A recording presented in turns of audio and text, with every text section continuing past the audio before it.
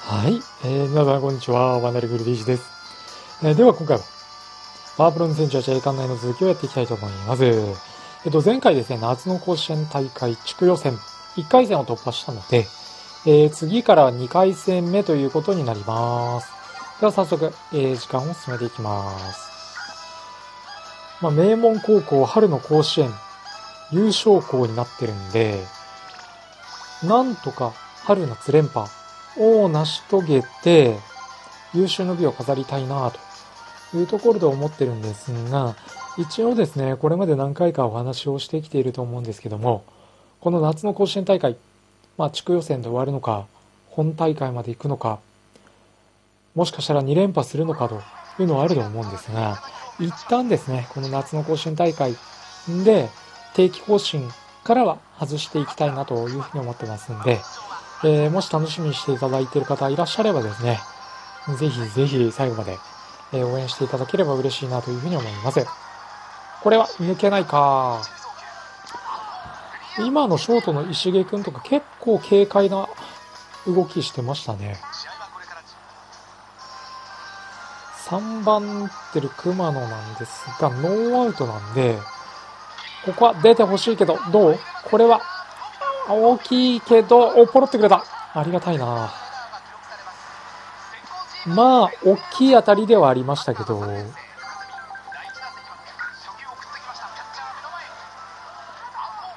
センターは余裕を持って落下点に入ってましたからね。ここはスクイズで1点取りたいけど、ダメか。バント練習とか、全くしてなかったからしょうがないけどね。ここは守備のうまい石毛。だけど、ここはラッキーが続く。特にね、魔物とか使ってなくて、この一つの回で二つのエラーは大きいな。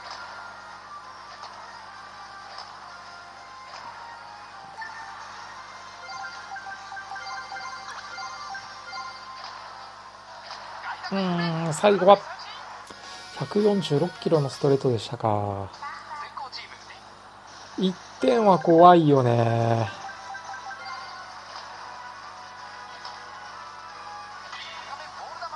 これは切れてるかな。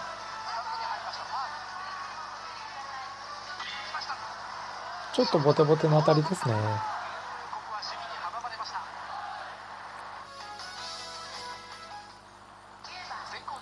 いや、どうしてももう1点ぐらいは欲しいけど、まあ、堀野はそうそう打たれないとは思うんですが、1点はわからないですからね、本当に。せめて3点。3点あれば、と思ってたら逆転されてるね、やっぱり。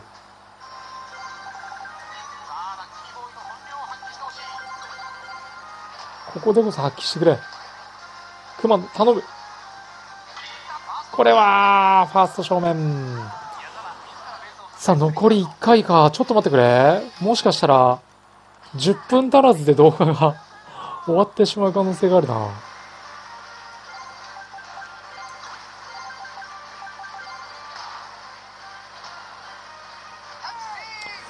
成田農業高校とか全く見てなかったな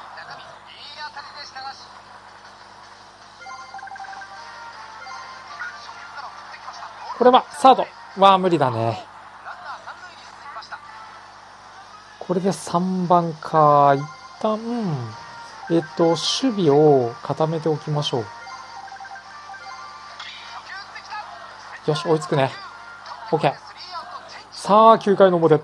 1点が遠いけど1点を取ろう。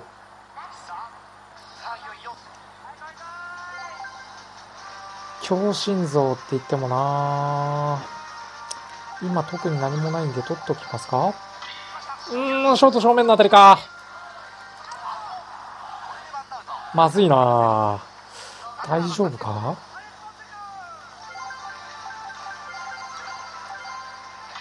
だー、これは抜けないよね当たりが弱すぎる。待ってくれ、追い詰められたぞ。マジか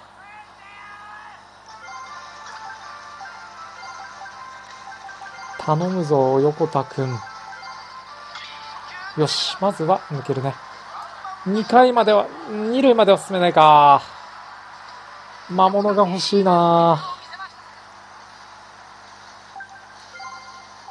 代打で魔物持ちとかって確認できたっけ？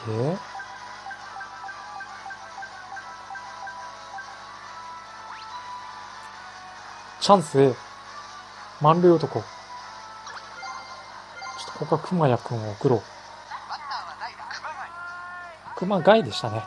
くせ者か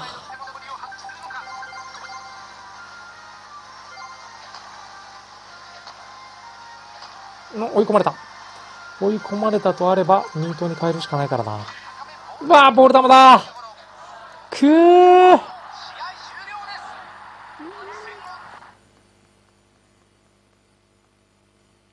いやー、2回戦敗退かちょっと相手のピッチャー打てなさすぎだよな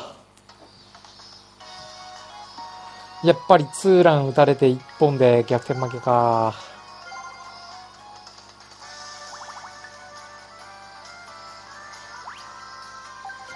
まあ残念ですけど、しょうがないですね。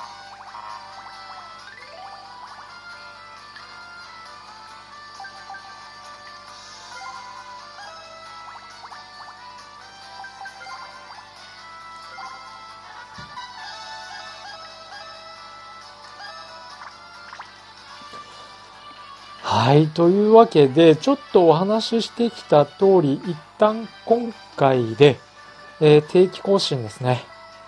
えー、そちらに関しては、不定期更新の方に変更させていただいて、まあ、他のゲームを中心に、プレイの方はしていくことになるかなとは思いますが、また、あのー、不定期で上げていくこともあるかなとは思いますので、まあ、その際はぜひ皆さんのね、えー、応援をしていただければ嬉しいなというふうに思うんですが、ちょっとこのままだとね、あのー、時間が短すぎるので、まあ、まだこれから先も続けていくと、不定期であるものの、プレイの方はするというところではあるので、ちょっとこのままね、あと10分15分、うだ、うだと、プレイをしていくことになるんですけど、えー、お付き合いいただければなと思います。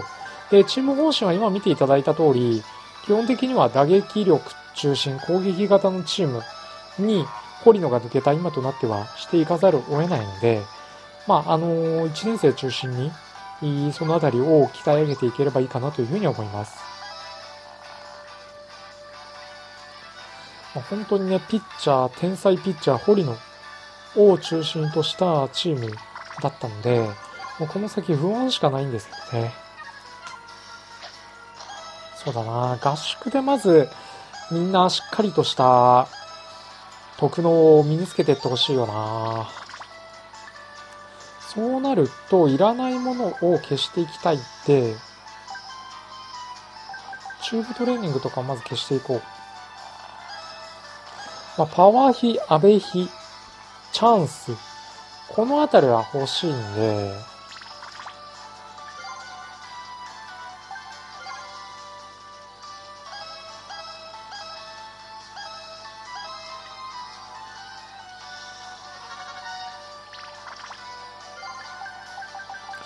紅白戦とかって練習メニュー、合宿の時ってどうなるんだっけ？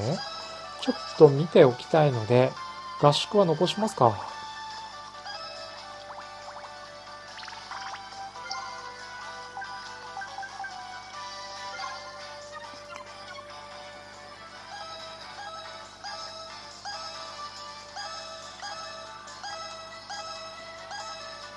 まあ、投手力はね、だいぶ落ちてしまうんで、ああ、紅白戦はやっぱりなくなっちゃうか。まあ、しょうがないな。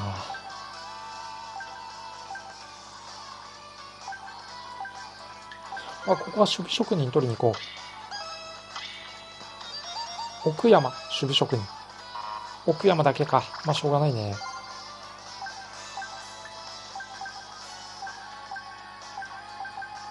ここはチャンス。ダメ押し。そのあたりが欲しいけど。調子安定だけか。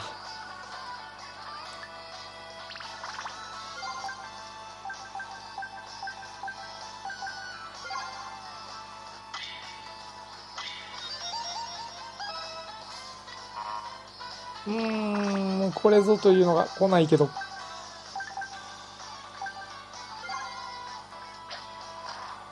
キャッチャープラスには欲しいね、確かに。まあ、手に入らなかったですが。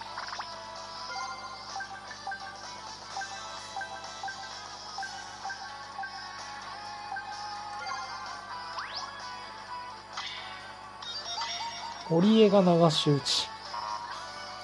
でもまあこんなもんか。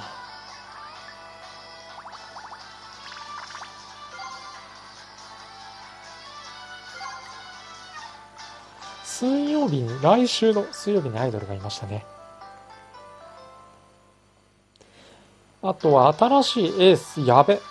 うん、彼の変化球でね、ちょっと変化球が、5ぐらいはやっぱり欲しいので、そこからかな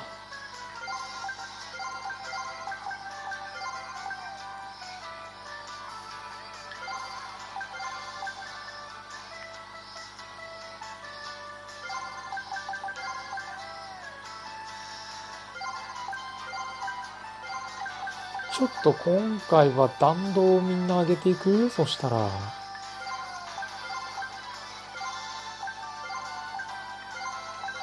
弾道がみんな低いんで、特に1年生は弾道1ばっかりだからな弾道をちょっと上げておきましょう。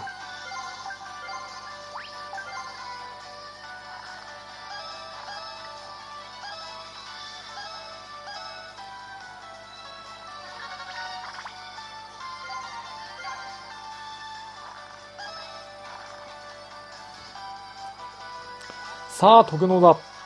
どうする？沖山。パワーヒ。よし、パワーヒッターになったね、奥山が。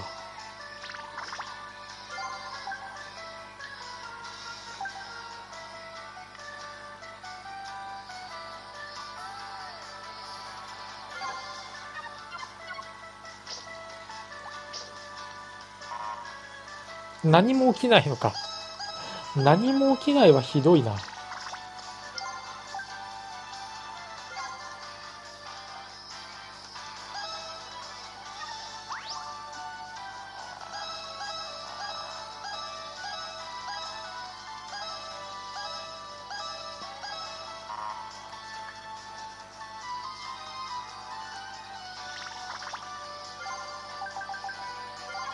ここで練習効果がかなりアップしてくれればチームを大きく強くするチャンスだったんですけどね。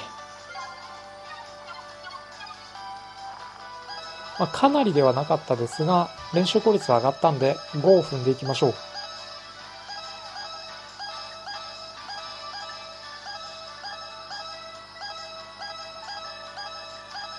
みんな続々と弾道が上がりましたね。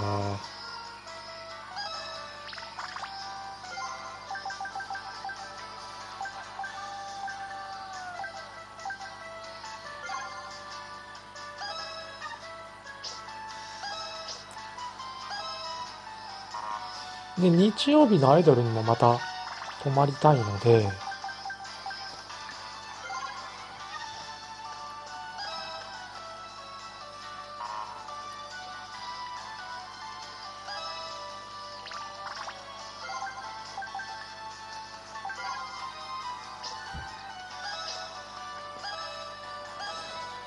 まあ、春夏連覇の夢は絶たれましたけどね。まあ、ただ春の甲子園大会優勝できただけでもまあ、自分の中では本当にありがたかったんで、まあ、今までと比べるとペースはだいぶ落ちちゃうとは思うんですが、またね、えー、時間を見つけて、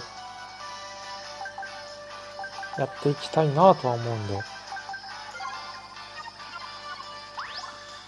そのための準備ですね、今は。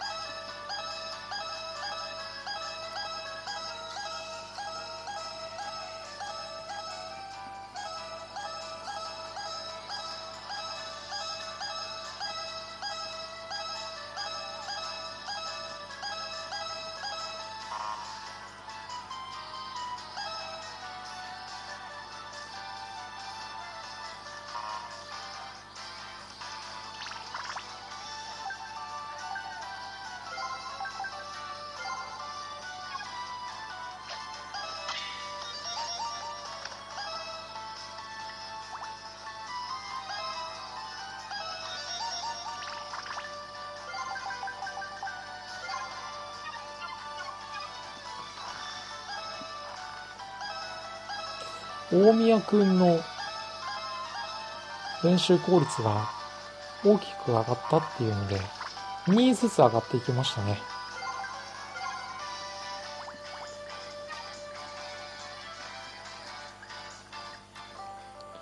さあ、これで9月になったので、弾道練習してた選手たちを変えていきましょうか。長瀬くんは肩が A までは持っていきたいかな。堀江くんはどうだろう？パワーを上げていく？いや、もう一段階弾道を上げてもいいかな。弾道みんな3ぐらいまであると安心するんで、一旦みんな弾道3まで上げちゃいましょう。どうせポテンヒットはあまり期待できないゲームになってるかなっていう感じはするんで。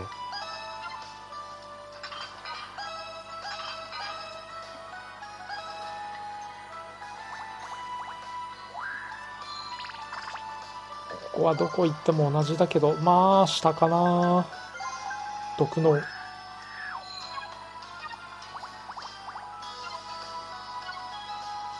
あ、アイドルもいる。けど、そろそろ公式戦が始まりそうな気配もあるんで、まあ、そういう意味ではちょっと微妙かな。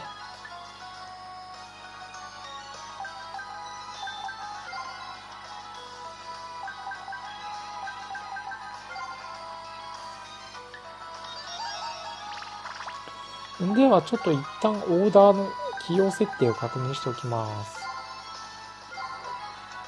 堀江。長瀬の方がいいんじゃないの？でもここはっていう感じはするけどな。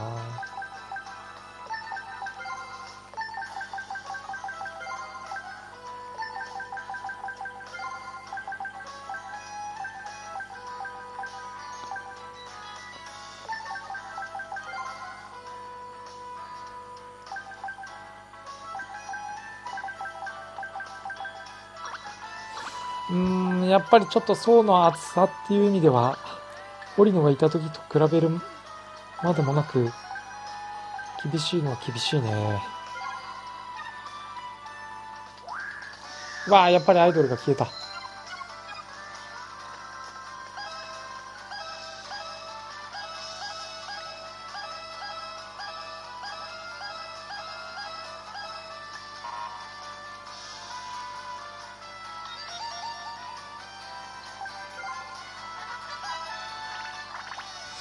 はい。えー、ではね、次回は公式戦というところになってしまうので、えー、今回はじゃあここで終わりにしていきたいと思います。で、冒頭お話したように、えー、っと、今まで定期的に更新してきたこのパワプロ2018 2018 A 館9なんですが、まあ、ここが不定期更新という形に、え変更させていただきたいと思います。え本当にここまで、え応援していただいた方ありがとうございました。とはいえ、もう完全にやめるというわけではなくですね、また思い出したようにやることもあるかなと思いますので、えその際はまたぜひぜひ見に来ていただければ嬉しいなというふうに思います。はい。というわけで、えー、最後までご視聴ありがとうございました。ぜひ、チャンネルの登録、あとはですね、Twitter の方で動画の収録状況と、あとは配信状況、まあ、その他もろもろ情報を発信しておりますので、えー、興味のある方はぜひ Twitter の方もフォローしていただければあ嬉しいなというふうに思います。